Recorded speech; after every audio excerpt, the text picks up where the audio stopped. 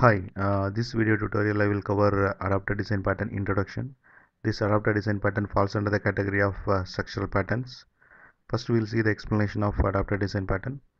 Uh, this is the first explanation I will just read out. Adapter pattern works as a bridge between two incompatible interfaces. This pattern involves a single class called adapter which is responsible for communication between two independent or incompatible interfaces okay i will uh, read out the second explanation. An adapter helps two incompatible interfaces to work together. Okay we will see one example so that uh, you will understand this uh, explanation very clearly. So in the right side you can see third party billing system and uh, left side you can see a client which is uh, existing hr system. And uh, these two systems are incompatible. How it is incom incompatible we can see now okay. So here uh, you can see uh, third party billing system has one functionality called process salary. It accept uh, array list of uh, employee okay? So what this method does is uh, uh, it will take employee list and iterate employee list array list okay? And it will get each employee and calculate the salary of each employee. And it will deposit the particular employee salary into the uh, bank account okay? So that is what uh, this method does okay? And uh,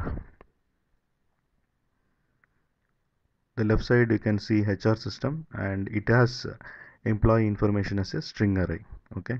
And HR system uh, wants to process uh, uh, salary of employees okay uh, then uh, what this HR system has to do is it has to call this process salary method okay? But if you see uh, left side uh, like HR uh, system it has employee information as a string array. But what third party billing system expect is array list of employee right?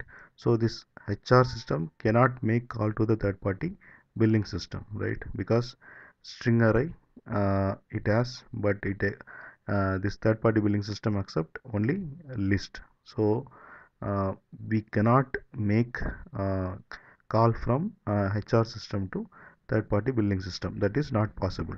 So these uh, two systems are incompatible.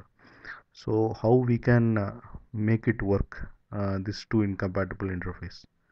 We can use adapter design pattern okay?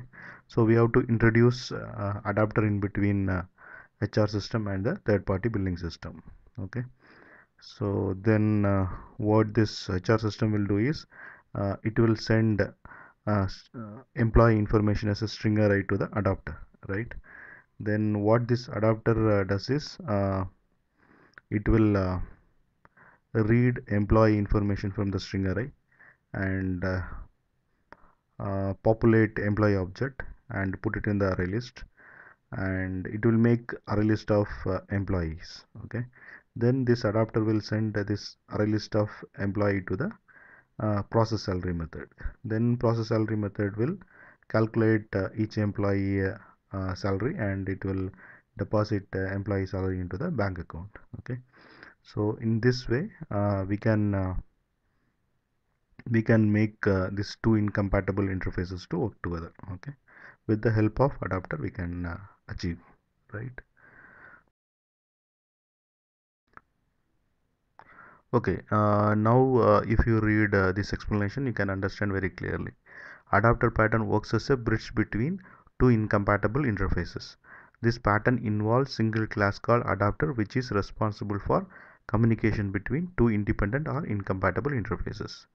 Uh, like I have explained uh, this adapter is a uh, bridge between this HR system and the third party billing system. And this adapter make sure uh, these two incompatible interfaces are working together right? And uh, second explanation an adapter helps two incompatible interfaces to work together. Uh, so that we have already seen right? And one more important point is uh, this HR system uh, don't want to change uh, their code. And also this third party billing system also don't want to change their code. So in that situation we can use adapter. Okay? And uh, and uh, this is about uh, adapter design pattern introduction. And I have created uh, separate videos for adapter uh, design pattern uh, real-time example adapter design pattern class diagram and sequence diagram uh, video tutorial and adapter design pattern implementation video tutorial.